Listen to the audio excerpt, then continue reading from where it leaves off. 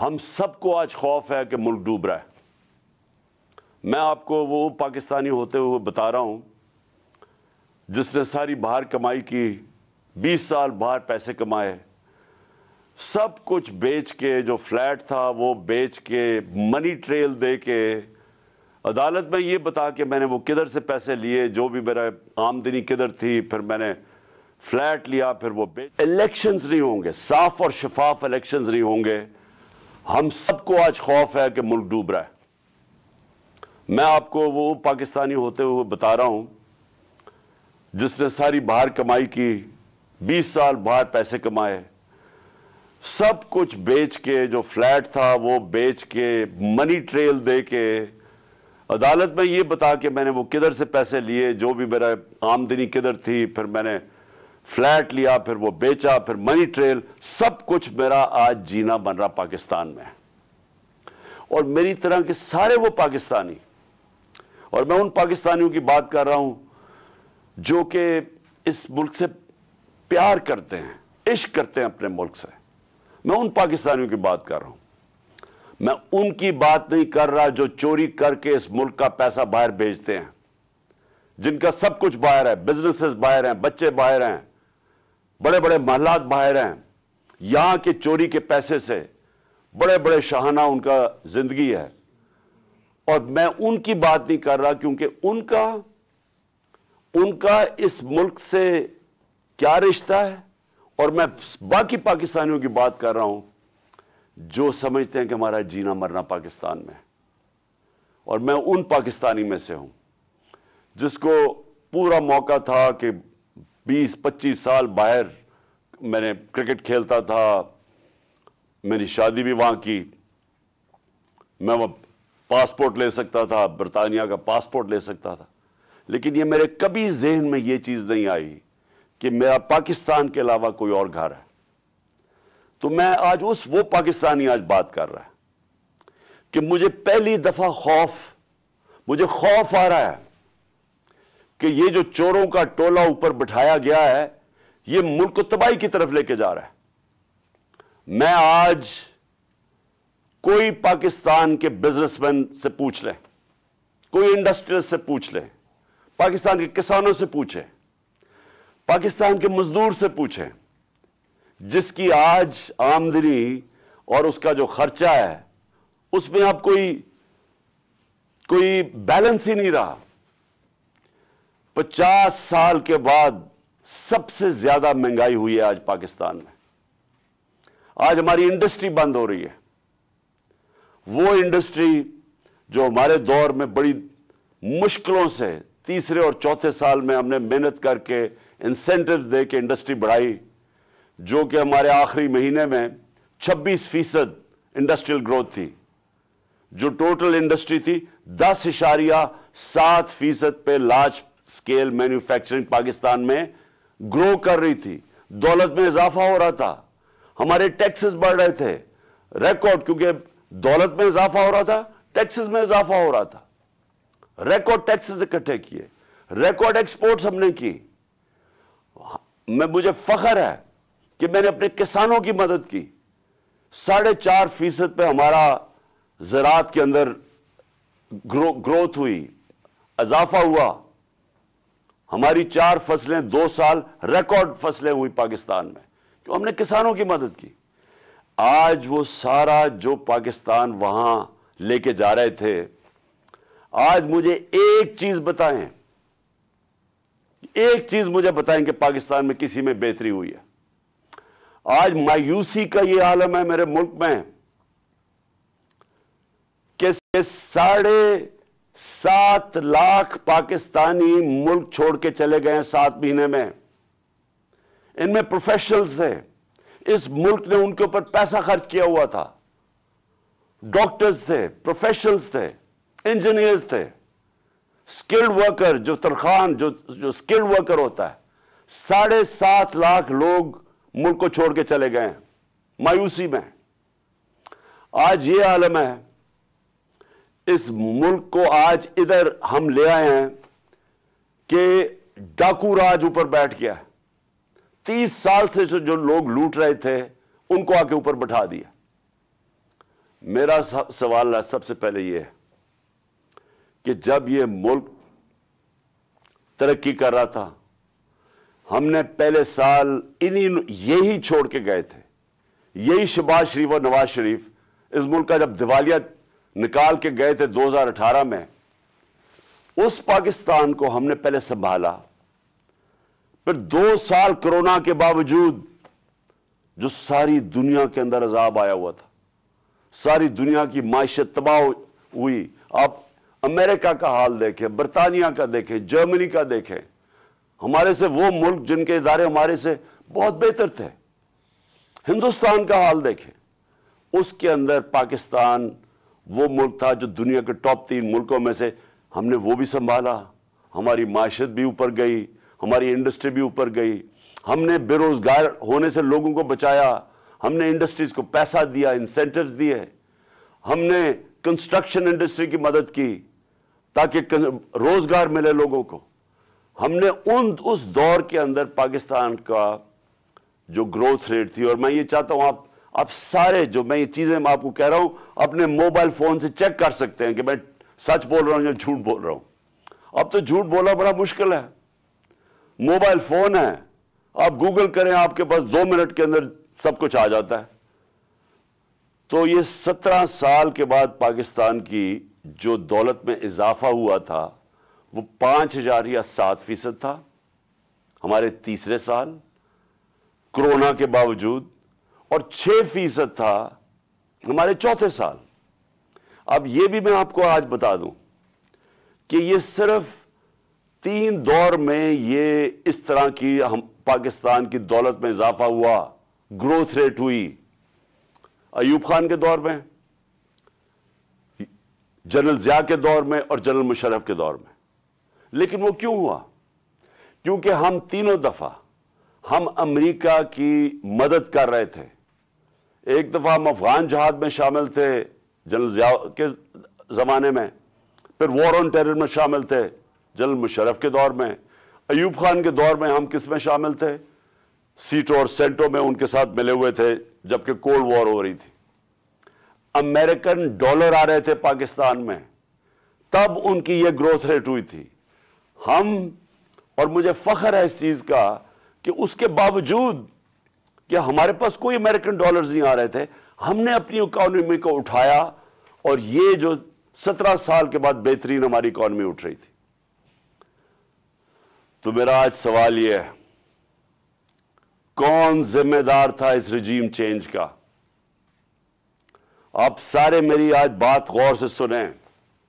जब आपकी माशत बढ़ रही थी, कौन, क्या वजह थी कि इस गवर्नमेंट को गिरा के और इन चोरों के टोलों के ऊपर बैठाया गया। कौन इसका जिम्मेदार था? कौन जवाब देगा कि आज वो इकोनॉमी जो हमारी ऊपर जा रही थी, उसकी जगह आज पाकिस्तान के वो हालात हैं जो बाहर की दुनिया कह रही है। भूलें जो पाकिस्तान के अंदर लोग क्या कह रहे हैं? जो बाहर की दुनिया वो कह रही है कि पाकिस्तान को अगर कर्जे देंगे तो वो कर्जे वापस करने का जो डिफ़ॉल्ट रेट है वो सौ फ़ीसद है। जब हम थे इकतदार में तो पाँच फ़ीसद था। तो आज सौ फ़ीसद का मतलब कि अगर आप पाकिस्तान को कर्जा देंगे तो सौ फ़ीसद चार्ज है कि पाकिस्तान कर्जा वापस नहीं कर सकता। इसका मतलब कि बाहर से ना कोई इन्वेस्टमेंट पाकिस्तान में आएगी। अभी एक साल के अंदर, चंद महीनों, बल्कि दस महीनों के अंदर आधी हो गई है बाहर से इन्वेस्टमेंट पिछले साल और अब के मुकाबले में आधी हो गई है। तो बाहर से इन्वेस्टमेंट बंद होगी, इसका मतलब बाहर से डॉलर्स आने बंद हो गए इन्वेस्टमेंट में।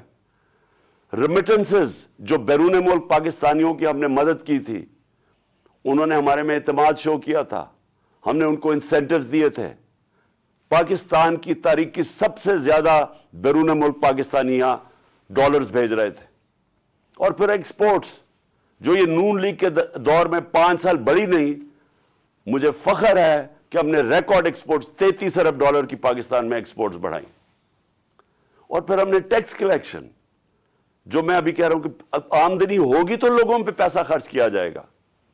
तुम्हारी छह हज़ार एक सौ अरब रुपए की हमारे जमाने में टैक्स कलेक्शन थी। आज ये सब कुछ नीचे जा रहा है। इंडस्ट्री बंद हो रही है। बेरोजगारी बढ़ रही है। हमारे जमाने में, और जमाने की बात कर, सात आठ महीने पहले, फैसलाबाद के अंदर टेक्सटाइल का मजदूर नहीं मिलता था। बाहर से लाना पड़ते थे। रिकॉर्ड टेक्सटाइल इंडस्ट्री की सेल थी। तो आज बेरोजगारी बढ़ रही है। पचास साल के बाद सबसे ज़्यादा महँगाई है। आज हमारे मुल्क का यह हाल है कि ना बाहर से किसी को इतमाद है इस हुकूमत के ऊपर और 88 फ़ीसद पाकिस्तान के जो इन्वेस्टर हैं, जो बिजनेसमैन हैं, उन्होंने कहा कि हमें इस हुकूमत पे इतमाद नहीं है। तो मेरा सवाल, पहला, मेरे दो सवाल हैं आज।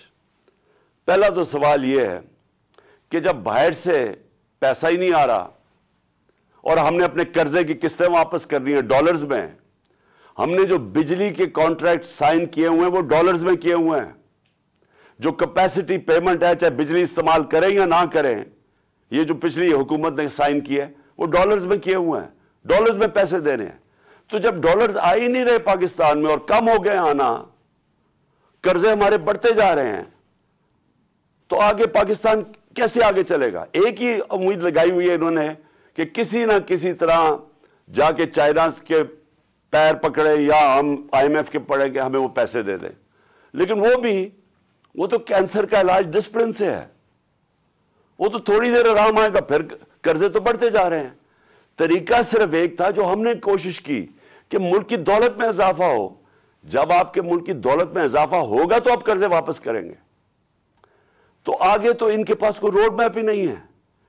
हम इन, अगर तो चले, अगर ये बड़ा अच्छा इन्होंने हमारी माशत को संभाला होता तो हम आराम से इनके साथ कहते, चले, ठीक है, अपना टाइम पूरा कर लें। लेकिन मुल्क तो नीचे जा रहा है। हर चीज़ नीचे जा रही है मुल्क में। और मुझे खौफ है कि ये डिफ़ॉल्ट की तरफ़ जा रहा है। यानी अभी भी हम एलसीज हमारी एलसीज है पेमेंट नहीं कर रहे हैं। अभी भी हम पैसे जो बाहर के हमारे जो हमने लाइबिलिटीज हैं अभी तक हम अब, अब वो भी पैसे नहीं दे रहे तो सवाल ये है कि इनके पास क्या रोड मैप है? कोई रोड मैप नहीं है। ये सिर्फ़ एक चीज़ यह चाहते हैं।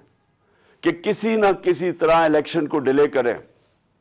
इसलिए नहीं कि इन्होंने माशत को उठा देना है। ये इसलिए डिले करना चाहते हैं कि ये खौफ जदा हैं इलेक्शन से। इनको डर लगा हुआ है कि जब भी इलेक्शन होंगे इन्होंने हार जाना है। तो अपने आप को बचाने के लिए ये मुल्क को तबाह कर रहे हैं। क्योंकि इन्होंने इलेक्शन में हार जाना है, इसलिए ये इलेक्शन नहीं कर रहे। और ये इलेक्शन डिले करेंगे और मैं मैं ये समझता हूँ कि ये अक्टूबर में भी नहीं इलेक्शन करवाएँगे। कोई ना कोई इलेक्शन कमीशन इनके साथ मिला हुआ है। एक बड़ा बदयानतदार आदमी है। वो इनके साथ मिला हुआ है। और वो इनको तरीके से बताएगा कि कैसे इलेक्शन डिले किया जा सकता है। इसी इलेक्शन कमीशन ने जब सुप्रीम कोर्ट, जब सुप्रीम कोर्ट जब हमने, हम जब गए सुप्रीम कोर्ट में जब हमारी गवर्नमेंट गिरा रहे थे ये तो इसी सुप्रीम कोर्ट के पास जब हम गए तो वो मान गए थे कि इलेक्शन हम, हमने कहा इलेक्शन करवा दो। वो मान गए थे। इस इलेक्शन कमीशन ने वहाँ जाके कहा कि जी मैं सात महीने तक इलेक्शन नहीं करवा सकता। और उसकी बेसिस पे इलेक्शन नहीं हुए। आइन, पाकिस्तान का आइन कहता है कि इलेक्शन कमीशन को सारा वक्त तैयार होना चाहिए नब्बे दिन में इलेक्शन करवाना। और मैं ये समझता हूँ कि ये पूरी कोशिश करेगा इनके साथ मिलकर कि किसी ना किसी तरह ये इलेक्शन खींचे। इनको कोई पाकिस्तान की फ़िक्र नहीं है, क्योंकि इनके पैसे बाहर पड़े हुए हैं। रुपया गिरता है, इनके पैसे डॉलर में, इनको इनको, इनकी दौलत में इजाफा होता है। इनको कोई फ़िक्र नहीं है कि अगर मुल्क नीचे जाता है तो इन्होंने तो फिर बाहर चले जाना है। ये तो हमेशा जब मुश्किल आती है, इनके ऊपर कुछ केसेस होते हैं, बाहर भाग जाते हैं। तो लेकिन मेरा जो सवाल है कि कौन जिम्मेदार था इसका? किसने एक चलती हुई हुकूमत, जो अच्छी बली, जो जो मैं खुद आपको बता रहा हूँ और ये आप इकोनॉमिक सर्वे ऑफ़ पाकिस्तान में देख सकते हैं कि हमारी परफॉर्मेंस क्या थी। मैं नहीं अगर कह रहा तो आप खुद देख सकते हैं।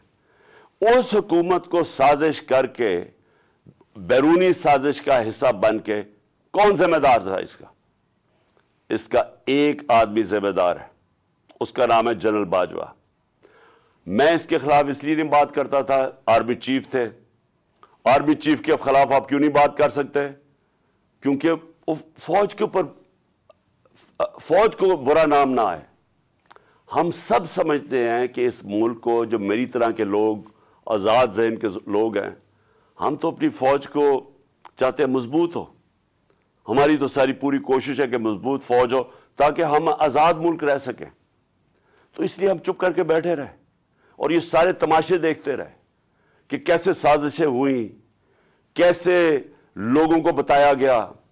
मैं आ, आ, आपके सामने जरा एक छोटी सी क्लिप दिखाना चाहता हूँ कि अगर आपको कोई शक है कि हुआ क्या तो पहले तो इलेक्शन से पहले हमारी हुकूमत गिराने से पहले चार नून लीग के जो बड़े नाम हैं उन्होंने क्या कहा?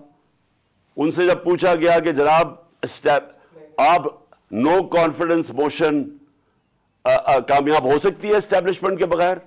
और ये उन्होंने कहा, जरा ये सब, अब मैं चाहता हूँ पहले सब देखें।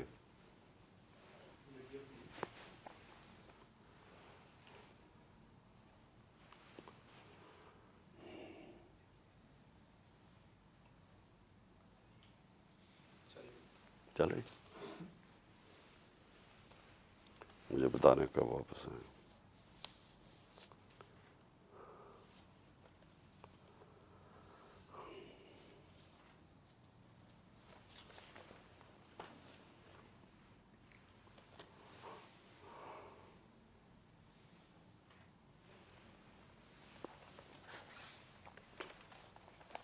ठीक है हो गया अच्छा अब। अब आप एक और क्लिप देखें। ये तो था इलेक्शन से पहले का। ये कल एक पीडीएम के सेनेटर रह चुके हैं और सेनेटर है अभी, मुस्तफ़ा खोखर। उन्होंने कल क्या कहा? जरा पहले ये भी सुन लें, दूसरा क्लिप ताकि आपको पता चल जाए कि हुआ क्या इस मुल्क के साथ।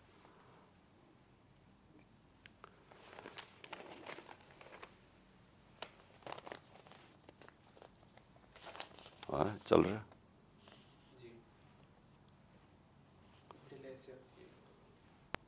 तरफ़ टिल्ट करते हैं वो अपने सियासी फैसले करने में आज़ाद। क्या एमक्यूएम उसकी हिमायत हमें मिल सकती थी? अरेंजमेंट में सारा हुआ ये पॉलिटिकल पार्टी से खुद मैनेज किया आपके ख्याल में। बहुत ज़्यादा खुद मैनेज किया बहुत ज़्यादा खुद भी मैनेज किया लेकिन थोड़ा सा गुड़ के अंदर मीठे के अंदर थोड़ी सी और शामिल हो गया फिर क्या फिर उसके बाद जो सियासी मुखालफी के ऊपर तशद आज आजकल के दौर में जो हो रहा है उसमें हम माउथ पीस बने हुए हैं।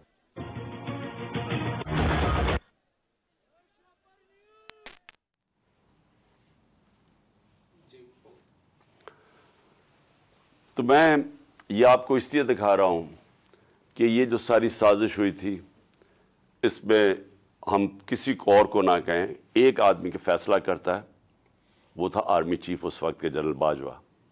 इन्होंने ये फैसला किया हमें हटाने का। क्या वजह थी इसके पीछे? क्या इनको, क्या ये समझते थे कि वाकई शबाज शरीफ और ये इसाक डार कोई बड़े जीनियसेस हैं जो आके मुल्क को हमारे से बेहतर चला लेंगे? क्या वजह थी कि इन्होंने एक सिटिंग गवर्नमेंट को गिरा दिया? हमारे लोगों को आके वो जिस तरह अभी मुस्तफ़ा खोकर ने बताया कि बैप के मेंबर्स और एमक्यूएम के मेंबर्स और शहजान बुख्ती सबको पता था कि ये तो जो जिधर हुक्म मिलेगा इनको स्टैब्लिशमेंट से उन्होंने उधर जाना है। तो उनको उधर जा, जाके भेज दिया कि जनाब आप जाके उधर चले जाए और और गवर्नमेंट गिर गई। तो मेरा अब अगला सवाल यह है जब गवर्नमेंट गिर गई और फिर इनको यह चीज़ का इल्म हुआ कि अवाम हमारे हमारे के साथ आके खड़ी हो गई। 10 अप्रैल को पब्लिक सड़कों के ऊपर निकलाई। लोगों ने इन चोरों को रिजेक्ट कर दिया। बल्कि हमारी मकबूलियत बढ़नी शुरू हो गई। इसलिए कि लोग इनकी जब शक्लें लोगों ने देखी, फिर से मुसलत किया गया इनको अवाम के ऊपर तो लोग हमारे साथ और जुड़ना शुरू हो गए। बड़े बड़े जलसे शुरू हो गए। उसके बाद इलेक्शन जब करवाए गए तो इलेक्शन के रिजल्ट्स में इसके बावजूद कि पूरी कोशिश की गई स्टेट मशीनरी इसको इन, इनको जताने के लिए, उसके बावजूद हार गए। कौम ने अपना वर्डिक्ट दे दिया, दूसरा इलेक्शन हुआ, उसमें भी हार गए। लेकिन मुझे जो अफसोस की बात है, कि बजाय एक समझें कि जनाब जनरल बाजवा, आपने गलती कर दी है। आप कोई अकले कुल तो नहीं है। आप देख रहे हैं कि लोग किधर खड़े हैं। इन्होंने हमारे ऊपर जो जुल्म किया जिस तरह हमारे ऊपर जुल्म किया गया, मैं आपको यकीन दिलाता हूँ कि जनरल मुशर्रफ के मार्शल लॉ में मैं ऑपोजिशन में था। मुझे उन्होंने जेल में डाला। मैंने कहीं इस तरह का जुल्म नहीं देखा जनरल मुशर्रफ के दौर पे, जो ये जनरल बाजवा ने हमारे पे करवाया। हमारे लोगों के ऊपर धमकियाँ, टेलीफोन से धमकियाँ आ रही हैं। वो जो जो हमारी हमायत करे या जो हमारे साथ मीडिया के लोग हों, उनके ऊपर धमकियाँ। जो मीडिया हाउस था, सलमान इकबाल, वो मुल्क से बाहर चला गया। उसके बाद साबिर शाकिर मुल्क से बाहर चला गया। आज मोहित पीरजादा मुल्क से बाहर गया हुआ इसी खौफ से। अरशद शरीफ, इतनी बड़ी ट्रेजेडी हुई है उसको जो धमकियाँ दी, क्या वजह थी उसकी? वो वो एक ध्यानतदार आदमी वो बता रहा था कि इस मुल्क के साथ क्या जुल्म हुआ है, कि अच्छी बड़ी गवर्नमेंट आपने गिरा के चोरों को बैठा दिया। तो बजाय ये कि करेक्ट करना, हमारे ऊपर जुल्म शुरू हो गया। और जुल्म की इंतहा यह थी कि सोशल मीडिया के लोगों को उठा उठा के ले जाते थे। उनको मार फेंटा लगा के तो अगले दूसरे दिन घर वापस भेजते थे, धमकियाँ देते थे कि आगे से किया तो ये होगा। जो आज़म स्वाति से किया जो उससे पहले जो शबाज गिल से किया कौन सी उस, उसने इतनी बड़ी बात की थी कि उसको नंगा करके मारा और उस, वो अभी तक उसके असरात हैं जो उन्होंने उसको तशद किया उसके ऊपर। और आज़म स्वाति ने क्या बात की थी? आज़म स्वाति ने यह ट्वीट की कि जनरल बाजवा आपने एनआरओ टू दिया है। इसके ऊपर जो उस बेचारे से किया गया कौन सी जमहूरियत में यह होता है? और वो बात के जो सच है एनआरओ टू जनरल बाजवा ने दिया है। सारी कौम को पता है। मुझे पता है कि मैं जब कहता रहा, जब मैं गवर्नमेंट में था, मैं जनरल बाजवा को कहता रहा कि ये तीस साल से चोरी कर रहे हैं, इनके ऊपर करप्शन केसेस हैं। नैब आपके नीचे है, आप नैब कंट्रोल करते हैं, मेरे नीचे ही नहीं है। क्यों नहीं इनके केसेस आगे बढ़ाते? पहले तो हमें सारा वक्त ये बताते रहे कि फ़िक्र ना करें सर हो रहा है सब कुछ। सर अभी कुछ हो रहा है। पहले तो हमें ये बताते रहे। आहिस्ता आहिस्ता हमें पता चला कि इनकी तो कोई नियत ही नहीं है करप्शन की। मुझे फिर कहना शुरू हो गया कि जी, आप मुल्क की इकतसादियात को ठीक करें इकोनॉमी को ठीक करें, भूल जाए इसको, ये अकाउंटेबिलिटी को। कभी कोई महजब, माशरा ये इजाज़त देता है कि बड़े बड़े लोग जो अरबों रुपए की चोरी करें, आप कहें उनको भूल जाए, उनको एनआरओ दे दें। और आप छोटे छोटे चोरों को पकड़ना शुरू करें और समझें कि आपका मुल्क तरक्की कर सकता है। क्या चीन पागल है जिन्होंने साढ़े चार सौ वजीरों को जेलों में डाला है पिछले चंद सालों में? क्या जो प्रेसिडेंट शी जिनपिंग है, उसको स्टेट्समैन माना जाता है? उसने वो काम कर दिया जो दुनिया में किसी ने किया ही नहीं है। सत्तर करोड़ लोगों को उसने गुर्बत से निकाला है चाइना में, पिछले तीस सालों में। वो वो उसको क्या ज़रूरत पड़ी है कि जो करप्ट मिनिस्टर उनको पकड़े, उनका एहतसाब करे? क्योंकि कोई माशरा भी कामयाब नहीं हो सकता जब तक रूल ऑफ़ लॉ नहीं होता, जब तक इंसाफ नहीं होता, जब तक आप बड़े बड़े लोगों को जो असल तो नुकसान मुल्क को बड़े चोर करते हैं, आप उनको पकड़ नहीं रहे और आप कह रहे हैं कि नीचे से ये बेचारे छोटे छोटे लोगों, पटवारियों को पकड़ते रहे। और ये हमारे सामने हुआ। शबाज शरीफ को बचाया गया। इसके ऊपर ओपन एंड शट केस था इसका। 16 अरब रुपए का ये जो एफआई का केस था इसे तो इस, इसमें तो कोई शक ही नहीं था। और इसका जो बेटा बाहर भाग गया आज जो सलमान शहबाज वापस आया है वो क्यों बाहर भागा था? जैसे ही एफआईए ने उससे सवाल पूछा कि जनाब बताइए मकसूद चपड़ासी और नौकरों के पास अरबों रुपए किधर से आए वो एकदम मुल्क से बाहर भाग गया। और उसको उसको इन सारों को वापस लाया जा रहा है। क्या हुआ? इसमें कोई शक है कि एनआरओ टू दे के सारे मुल्क का एक जनरल मुशर्रफ ने नुकसान कराया था एनआरओ वन का? इस मुल्क ने भारी कीमत अदा की उसकी। चार गुना ज़्यादा हमारा कर्जा चढ़ाया इन्होंने दस सालों में लूट मार करके। अब फिर जब इनके ऊपर केसेस थे 1100 अरब रुपए के केसेस हैं। वो इन्होंने फिर उनको एनआरओ टू दिलवा दिया। तो कौन था इसका जिम्मेदार? किसने ये किया था? जनरल बाजवा ने किया था। मैं आपको चीज़ें इसकी तरफ़ दिखाना चाहता हूँ कि कैसे कानून इन्होंने बनाया जिसमें बचे लोग, जिसमें हर किसी को बचाया गया। इन्होंने जनाब नैब लॉ की सेक्शन फोर में अमेंडमेंट की। उसके अंदर यह फैसला, उसके अंदर कौन बचते हैं? राजा परवेज अशरफ बच जाते हैं और शायद खाकान अब्बासी बच जाते हैं। फिर उन्होंने एक और किया, बेनामीदार की डेफिनेशन सेक्शन फाइव ई उसमें मरियम नवाज़, पाक होकर निकलाई सारी चोरी से। फिर उन्होंने सेक्शन नाइन, जिसके अंदर शबाज शरीफ बच जाते हैं, और उस जिसके अंदर के अगर आप किसी और के नाम पे, यानी अगर आप अपने, मैं प्राइम मिनिस्टर हूँ, मैं अपने खानदान के नाम पे चीज़ें लूँ तो उस, इसका मतलब कि आप जवाबदेही नहीं है। तो जो टीटी के सारे केसेस थे शबाज शरीफ के, वो उससे पाक हो गया। फिर सेक्शन 14 कि आपको आपको बताना पड़ता है कि अगर मेरे पास कोई बाहर एसेट्स हो, यानी इंग्लैंड में मेरी जगह हो या कोई बाहर हो, अमेरिका में हो तो अगर यह पता साबित हो जाए कि यह मेरी जगह है तो मुझे बताना पड़ता है कि ये मेरा किधर से पैसा आया इसको खरीदने के लिए। वो इन्होंने साफ़ कर दिया। अब नैब बताएगी कि उनके पास पैसा किधर से आया। यानी हर दुनिया के अंदर अगर मैं पब्लिक ऑफ़िस होल्डर हूँ यह मेरी ज़िम्मेदारी है। बताने के लिए कि अगर मेरा कोई बड़ा महल मैंने खरीदा हुआ है, मुझे बताना पड़ता है पैसा किधर से आया। उन्होंने वो कानून ही खत्म कर दिया। चुन चुन के आसिफ जदारी भी इसमें साफ़ हो गया। चुन चुन के वो लोग जो तीस साल से इस मुल्क को लूट रहे थे, उन सारों को इन्होंने पाक और साफ़ कर दिया। ये असल वजह है मायूसी की आज पाकिस्तान में। लोग लोग जिन्होंने ये तमाशा देख रहे हैं कि एक तरफ़ कौम मर रही है इस इस महँगाई के अंदर और फैक्ट्रियाँ बंद हो रही हैं, बेरोजगारी की कर्जे चढ़ते जा रहे हैं। एक तरफ़ यह है और दूसरी तरफ़ ये अरबों रुपए की इनकी करप्शन माफ़ हो रही है। और ये बहुत बड़ी वजह है आज मायूसी की। और मैंने, ये जो हमारे ऊपर जुल्म हुआ, मैं सिर्फ़ उसके ऊपर आना चाहता हूँ कि मुझे एक जगह बताया गया, जल बाजवा ने, कि जी आपके लोगों के ऊपर हमारे पास तो फाइलें हैं, उनकी करप्शन की उनके ऊपर फ़िल्में बनी हुई हैं, उनकी वीडियोस बनी हुई हैं। अब मैं ये मैंने उससे भी कहा कि क्या ये हमारी एजेंसीज का काम है? कि हम वीडियोस बनाएँ और गंदी वीडियोस बनाएँ या किसी के ऊपर कोई, उसके ऊपर फाइलें बनाएँ?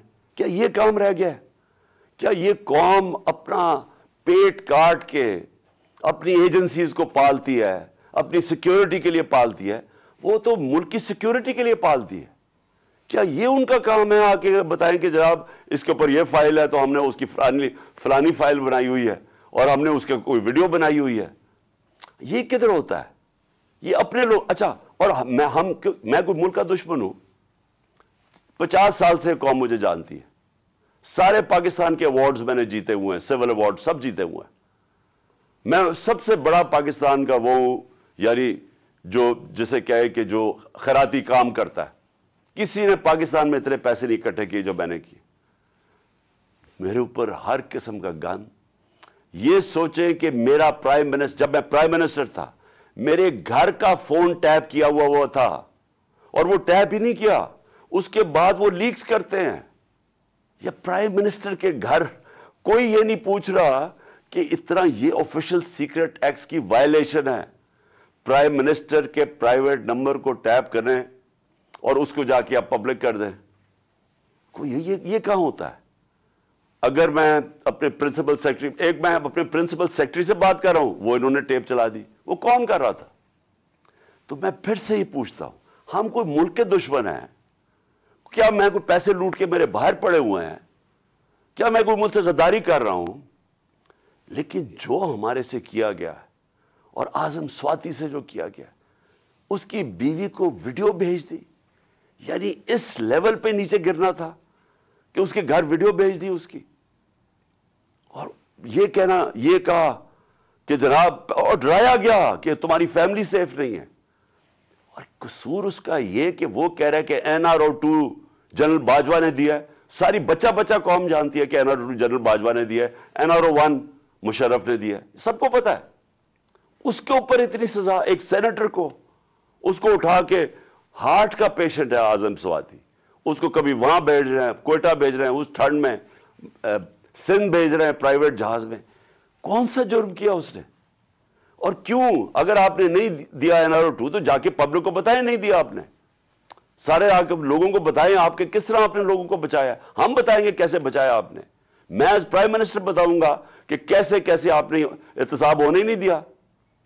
आपने वो जब फेटअप की लेजिस्लेशन थी तो वो खुद कह रहे हैं हमें, वो अपोजिशन वाले, कि ये तो जनाब, ये बैठ के उन्होंने आपकी आशीर्वाद मिली थी। उसके बाद आपने वो एनआरओ के ये जो जो अमेंडमेंट थी नैब की, जो अब हो गई, ये तो तब होने के चक्कर में थे। तब हम खड़े थे। और मैं तब से कहता गया कि ये मुल्क तरक्की नहीं कर सकता, जब तक इस मुल्क में रूल ऑफ़ लॉ नहीं है। कोई दुनिया में मुल्क आज तक तरक्की नहीं किया, जिसके ताकतवर डाकू उनको आप छूट दे दें और सिर्फ़ कमज़ोर लोगों को पकड़े। कोई मुल्क तरक्की नहीं कर सकता। यह मुल्क आगे भी नहीं बढ़ सकता। मैं आखिर में अब बात भी करता हूँ कि इंशाला अल्लाह ने मौका दिया तो हम अब क्या प्लान बनाएँगे इस मुल्क को, इस दलदल से निकालने का जो इन्होंने फंसाया हुआ है हमें। अब मैं जो अगली बात करना चाहता हूँ वो ये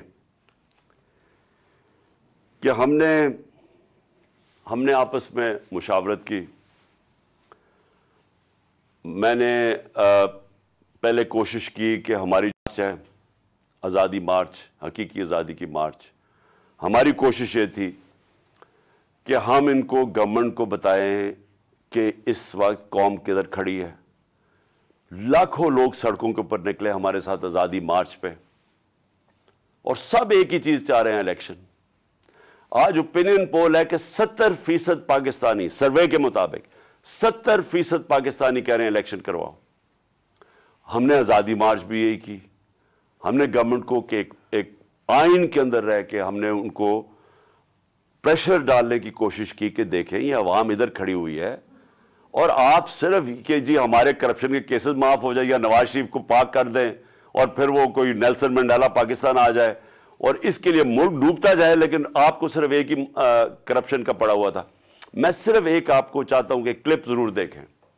ये जिस दिन, दो दिन पहले, यानी मैं ऑफ़िस से गया 9 अप्रैल को, ये 8 अप्रैल को, इस पिछली अप्रैल को मैंने ये क्लिप रिकॉर्ड आवाम से खताब किया था। मैं सिर्फ़ चाहता हूँ ये आप देख लें कि ये ये नहीं कि मुझे नहीं पता था कि क्या होगा या ये जो हुआ है, ये हमें पता नहीं था। ये होना था। और इसके ऊपर मैंने दो दिन पहले इकतदार छोड़ने से पहले ये जरा क्लिप जरा देख। जो पहले जो एनआरओ वन बना था इनको, सारों ने इन्होंने मिलकर जो चोरी की जनरल मुशरफ ने एनआरओ दे दिया। अब ये एनआरओ टू होगा। इनका मकसद सिर्फ़ ये है कि वहाँ असेंबली में आए। सबसे पहला ये काम मैं आज आपको कह रहा हूँ। इन्होंने नैब को खत्म करना है। इन्होंने अपने करप्शन केसेस खत्म करने इस वक्त हालात ये हैं कि ये जो सारे जमानत के ऊपर है, डर किस चीज़ का इनके सारे केसेस आने लगे सामने। तो वो जल्दी जल्दी हटाना चाहते थे कि किसी तरह ये अपने केसेस से निकल जाए। अब ये सारा ये जो मुद्दा इकट्ठा हो जाएगा और सिर्फ़ एक मसला किसी तरह बस पावर मिल जाए, ताकि फिर से जो पहले जो एनआरओ वन बना था इनको, सारों ने इन्होंने मिलकर जो चोरी की जनरल मुशरफ ने एनआरओ दे दिया, अब ये एनआरओ टू होगा। इनका मकसद सिर्फ़ ये है कि वहाँ असेंबली में आए। सबसे पहला ये काम मैं आज आपको कह रहा हूँ। इन्होंने नैब को खत्म करना है। इन्होंने अपने करप्शन केसेस खत्म कर दिए। इस वक्त हालात ये है कि ये जो सारे जमानत के ऊपर है, डर किस चीज़ का इनके सारे केसेस आने लगे सामने। तो वो जल्दी जल्दी हटाना चाहते थे कि किसी तरह ये अपने केसेस से निकल जाए।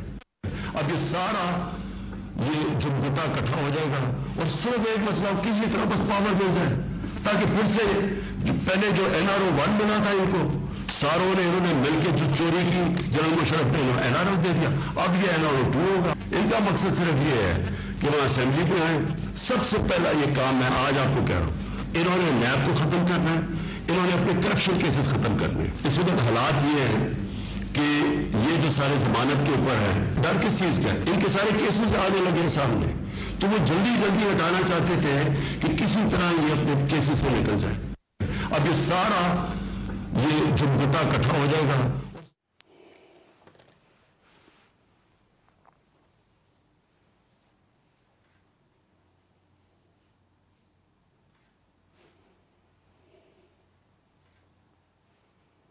बताना कब खत्म होता है?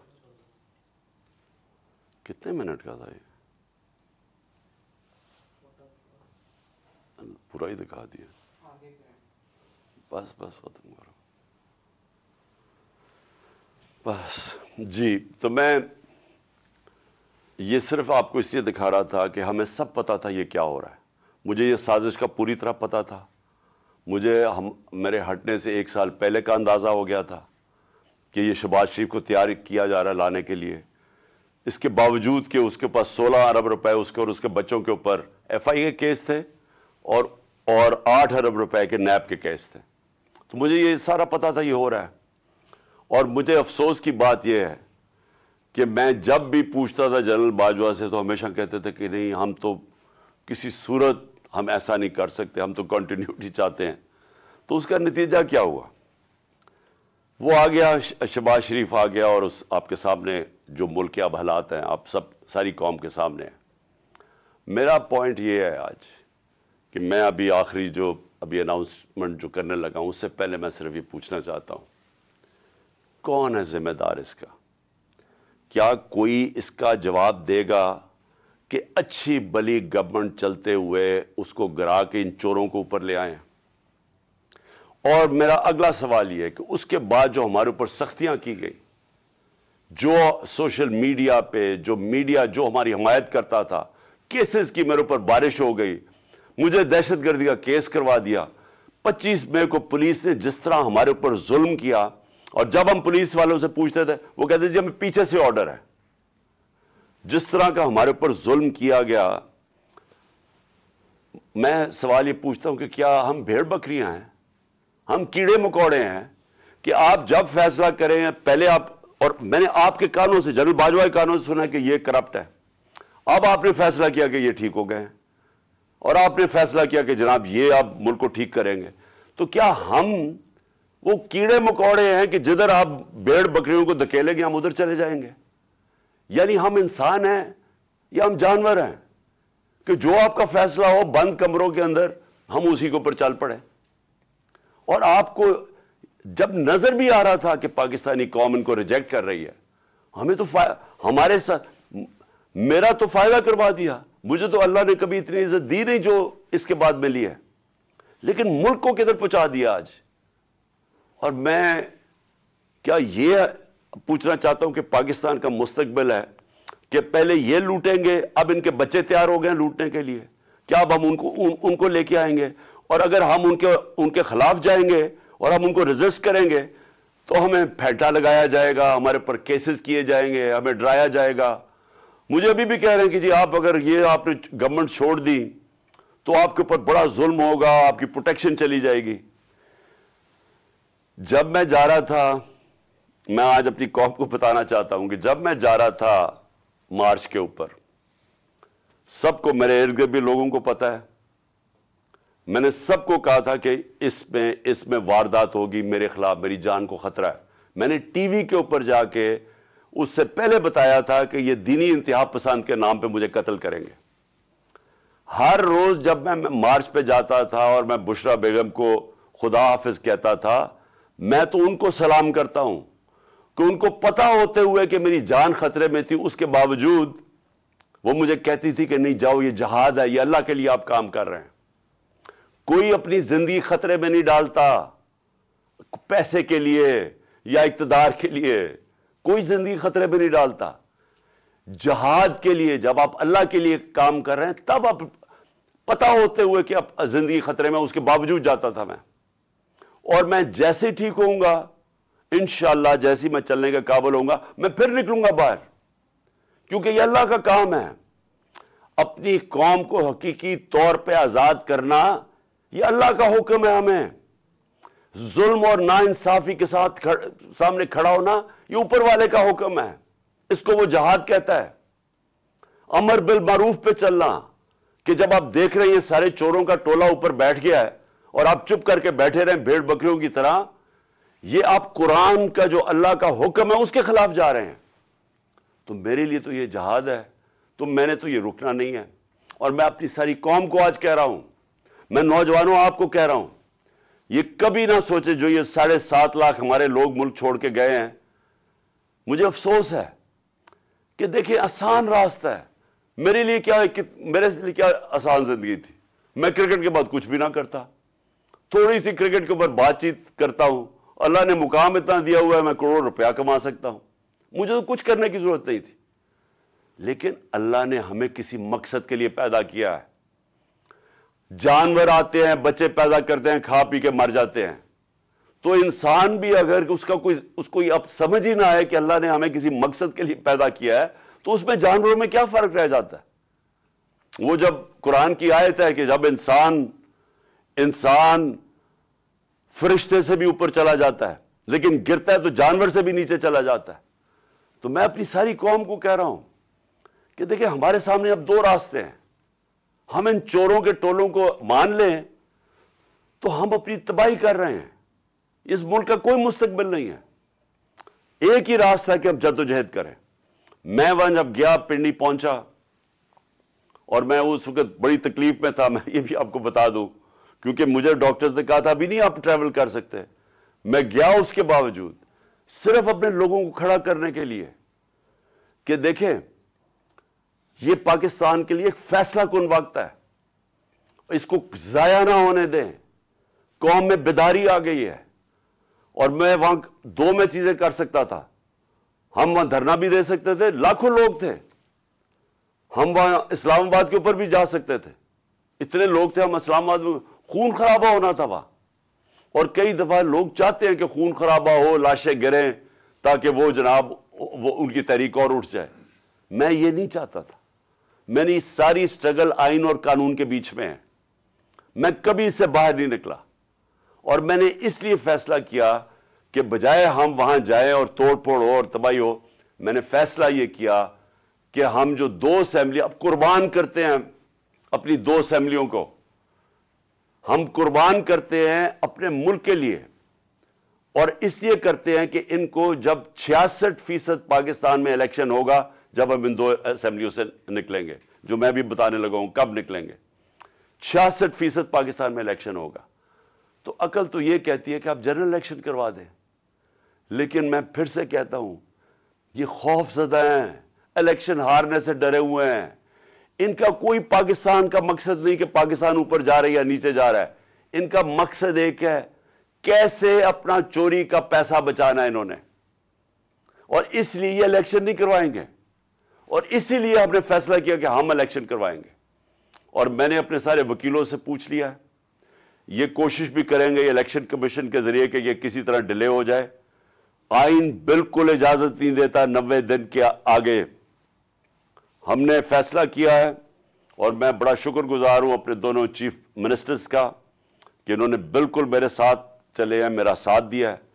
हमने फैसला यह किया है कि हम अगले जुमे को, आज है हफ़्ता, अगले जुमे को हम दोनों पख्तूनख्वा की असेंबली डिसॉल्व कर देंगे और पंजाब की असेंबली डिसॉल्व कर देंगे।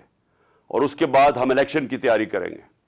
और उस, और उसके बाद हमारी जो 100 गालिबन तेईस सीटें हैं इस वक्त नेशनल असेंबली में, हम वहाँ जाके, नेशनल असेंबली में जाके स्पीकर के सामने हम वहाँ खड़े होकर कहेंगे कि हमारे रेजिग्नेशन एक्सेप्ट करो।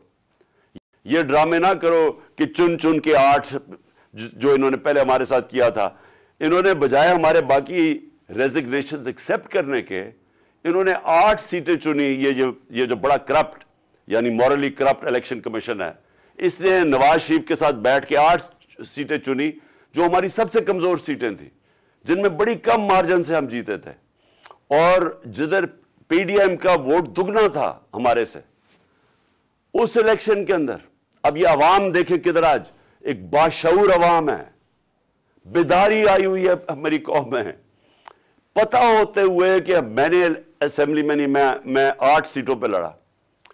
पता होते हुए कि मैंने असेंबली में नहीं जाना, उसके बावजूद मेरी कौम ने मुझे सारे आठ की आठ सीटों पे जताया। सात सात सीटों पे जताया और एक जो कराची के अंदर सीट थी, जरा वहाँ देख ले, वो इलेक्शन कमीशन को वो धांधी नहीं नज़र आएगी जिस तरह इन्होंने पूरी स्टेट मशीनरी इस्तेमाल की और वोट बाहर फेंक दिया जो हर हर बार इस्तेमाल करता है। तो हमने ये फैसला कर लिया मैं अपनी कौम को आखिर में सिर्फ़ ये कहना चाहता हूँ कि देखिए, मायूसी गुना है। आप मायूस होकर घर बैठ जाएँ, या आप बाहर टिकट लेके किसी और मुल्क में चले जाएँ और कोई नौकरी मिल जाए, ये मेरी नज़र में, ये एक इंसान अपनी जो ड्यूटी है माशरे को, उससे भागता है।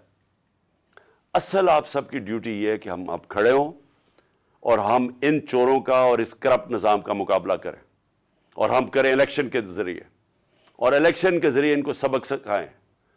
आइन और कानून के बीच में रहते हुए। मैं नहीं चाहता कि यह श्रीलंका जैसा सिचुएशन हो, कि लोग सड़कों के ऊपर आ जाए और तोड़ फोड़। मैं चाहता हूँ कि हम इलेक्शन के ज़रिए इनको शिकस्त दें और इनको ऐसी शिकस्त दें कि यह हमेशा के लिए इन चोरों का नामो निशान यहाँ से चला जाए। और वो तब होगा जब आप सब इसको अपनी ज़िम्मेदारी लेके निकलेंगे। और मैं आपको आखिर में यह कहना चाहता हूँ कि मायूसी जो है मैं साढ़े तीन साल गवर्नमेंट में रहा। इसके बावजूद के बैंक गवर्नमेंट में ली इसके बावजूद के हमारे पास तजर्बा ही नहीं था बिल्कुल। हम पहली दफ़ा गवर्नमेंट में आए थे, एक के बाद दूसरा क्राइसिस था। सदी में एक दफ़ा कोरोना जैसा क्राइसिस आता है, वो ऊपर से आ गया। दो साल वो रहा। उसके बावजूद पाकिस्तान में किसी गवर्नमेंट ने जिस तरह मैंने कहा कि जो मिलिट्री डिक्टेटर्स को तो अमेरिकन डॉलर्स मिले, हमें तो कोई डॉलर्स ही मिले। सबसे बेहतरीन हमारी इकोनॉमिक परफॉर्मेंस थी, इस सब के बावजूद। अब हम समझ गए हैं। मुझे तीसरे और चौथे साल में पूरी समझ आ गई कि ये गवर्नमेंट चलती कैसे है। मैं आखिर में सिर्फ़ आपको यह कहना चाहता हूँ, मायूस ना हो। मुल्क ये तब अब उठेगा जब बड़े और मुश्किल फैसले होंगे। ये मुश्किल मुश्किल फैसले इनके नहीं कि कीमतें बढ़ाते जाओ और कहो जी मुश्किल फैसला है। मुश्किल फैसले का मतलब मुल्क मुल्क के इदारों को रिस्ट्रक्चर करें। इस मुल्क के अंदर इंसाफ कायम करें रूल ऑफ़ लॉ कायम करें। अगर अल्लाह भारी अक्सरियत देता है तो तब आप ये सब कुछ कर सकते हैं। इस मुल्क में इसलाहत कर सकते हैं, इदारे ठीक कर सकते हैं। जो गवर्नमेंट कैसे चलती है, इतनी बड़ी हमने गवर्नमेंट बना दी है और वो वो हमें आगे निकलने नहीं देती। हर जगह रुकावटें बन गई हुई है और हमने काफ़ी चेंज भी किया। एक्सपोर्ट्स बढ़ानी है। हमने रिकॉर्ड एक्सपोर्ट्स बढ़ाई। कैसे हमने एक्सपोर्ट्स बढ़ानी है, उसका हमने प्लान बनाया हुआ है। स्मॉल और मीडियम इंडस्ट्री को कैसे खड़ा करना है, जो असल रोज़गार देती है और दौलत में इजाफा होता है। अपनी एग्रीकल्चर जो ज़रात है, हमने चाइना से बात कर चुके थे कि नई टेक्नोलॉजी हम लेके आए बदकिस्मती से कोरोना की वजह से दो साल चाइना बंद हो गया। वो जो नई टेक्नोलॉजी से हमने सिर्फ़ अपनी, अगर हम वो छोड़े कि जो चाइना के अंदर वो पैदावार लेते हैं एक एकड़ से, हम अगर अपनी दुगनी कर लें तो अब ये समझे कि पाकिस्तान के अंदर एक इनकलाब आ जाएगा। सो मैं आखिर में ये कहना चाहता हूँ कि कोई मायूसी की, मायूस होने की कोई ज़रूरत नहीं है। ये टूरिज़्म में ही हम इतना पैसा बना सकते हैं, और वो भी बदकिस्मती से, कोरोना की वजह से टूरिज़्म सारी दुनिया में बंद होगी। हम इस मुल्क को उठा सकते हैं। लेकिन वो गवर्नमेंट उठाएगी जिसके पास एक मैंडेट हो जिसके पास अवाम की ताकत हो। और इस अल्लाह के बाद इस मुल्क में इस मुल्क में जो इस मुल्क के जो वारिस है वो अवाम है। और कोई नहीं अवाम इस मुल्क की वारिस है। और मैं उनमें आप में से हूँ। हमने इस अवाम ने कौम बन के हमने इस, इस मुश्किल वक्त से निकलना है। और लेकिन वो निकलेंगे तब जब इस मुल्क के अंदर साफ़ और शफाफ इलेक्शन हो, और उसके लिए हमारी अब जदोजहद जारी रहेगी। मैं आप सबका शुक्रिया अदा करता हूँ कि फिर से आप मेरी कॉल पे आए। पाकिस्तान जिंदाबाद। Chairman Tehreek Insaf Imran Khan video link के ज़रिए लिबर्टी में मौजूद पावर शो से खिताब कर। थे उनकी जानब से कहा गया कि तेईस दिसंबर को के पी और पंजाब की असम्बलियाँ तहलील कर दी जाएँगी। अगले जुमे को चेयरमैन तहरीक इंसाफ इमरान खान की जानब से ऐलान किया गया है। पंजाब और खैबर पख्तूनख्वा असम्बलियों की तहलील का इमरान खान का तेईस दिसंबर को पंजाब और खैबर पख्तूनख्वा असम्बलियाँ तोड़ने का ऐलान किया गया है। इमरान खान का तेईस दिसंबर को पंजाब और खैबर पख्तूनख्वा असम्बलियाँ तोड़ने का ऐलान। इमरान खान ने कहा है कि अगले जुम्मे को पंजाब और खैबर पख्तनख्वा असम्बलियाँ तहलील कर दी जाएँगी। ये भी कहा कि हम नेशनल असम्बली में स्पीकर के सामने जाकर कहेंगे कि हमारे इस्तीफे मंजूर किए जाएँ। उनकी जानब से ये कहा गया कि हम इलेक्शन की तैयारी करेंगे इसम्बली तहलील करने के बाद और ये भी कहा गया कि हम इलेक्शन के ज़रिए इनको शिकस्त देंगे। अहम खबर आप तक पहुँचा रहे हैं। बिलाखिर ऐलान कर दिया गया है पाकिस्तान तहरीक इंसाफ के सरबरा इमरान खान की जानब से। इमरान खान ने तेईस दिसंबर को पंजाब और खैबर पख्तनख्वा असम्बलियाँ तोड़ने का ऐलान कर दिया है और ऐलान करते हुए उनके दाएँ जानब वज़ी अला पंजाब परवेज़ लाही और बाएँ जानब वज़र अला के पी महमूद खान मौजूद थे और वीडियो लिंक के ज़रिए उन्होंने काकुनान से खिताब किया। लिबर्टी चौक में काकुनान की बड़ी तादाद उनका खिताब सुनने के लिए मौजूद थी। बिलाखिर ऐलान कर दिया गया है इमरान खान की जानब से और असम्बलियाँ तहलील करने का ऐलान किया गया है तेईस दिसंबर, जुमे के रोज़, यानी कि आज से ठीक एक हफ़्ते के बाद इमरान खान पंजाब और खैबर पख्तूनख्वा की असम्बलियाँ तहलील कर देंगे। अहम और बड़ी खबर सामने आई है और इसके बाद बहुत से अहम सवाल जो हैं वो खड़े हो गए हैं। दूसरी जानब हमने देखा कि पी डी एम की क़्यादत भी इस वक्त सर जोड़कर बैठी हुई है और इतलात ये भी हैं कि बहुत जल्द पंजाब असम्बली में तहरीक अदम अतमाद जो है वो भी दायर की जा सकती है, जिस पर मुशावरत का सिलसिला जारी है। आइंदा सियासत क्या रुख इख्तियार करेगी? क्या ये मुमकिन हो पाएगा कि पंजाब और खैबर पख्तनख्वा की असम्बलियाँ तहलील हों? और उसके बाद क्या सूरत हाल बनेगी? ये बहुत आम सवाल हैं जो कि इस वक्त हर शख्स के जहन में हैं। इमरान खान ने तेईस दिसंबर को पंजाब और खैबर पख्तनख्वा असम्बलियाँ तहलील करने का ऐलान कर दिया है। चेयरमैन तहरीक इंसाफ इमरान खान की जानब से बड़ा और अहम ऐलान मुतव था, जो कि उनकी जानब से बता दिया गया है कि तेईस दिसंबर को पंजाब और खैबर पख्तनख्वा की असम्बलियाँ तहलील करती जाएँगी और उनकी जानब से ये भी कहा गया कि हम नेशनल असम्बली में जाकर स्पीकर के सामने ये कहेंगे कि हमारे इस्तीफे मंजूर किए जाए। उन्होंने कहा कि मुल्क की खातिर दोनों असम्बलियाँ कुर्बान कर देंगे और कहा कि छियासठ फ़ीसद मुल्क में इलेक्शन होगा। और इमरान खान की जानब से यह भी कहा गया कि चोरों का टोला जो मुसलत किया गया है, हम इलेक्शन के ज़रिए इनको शिकस्त देंगे। उनकी जानब से यह भी कहा गया कि इन्हें डर है कि जब भी इलेक्शन होंगे तो चेयरमैन तहरीक इंसाफ की जानब से कहा गया कि पाकिस्तान तहरीक इंसाफ ही जीतेगी। चोरों का टोला जो मुसलत किया गया, वो इस खौफ में मुबतला है। जबकि दूसरी जानब पी डी एम इतिहाद जो कि सर जोड़कर बैठा है, उनकी जानब से तहरीक अदम एतमाद लाने का भी ऑप्शन पर गौर की जा रही है। और मुख्तलिफ़ ऑप्शन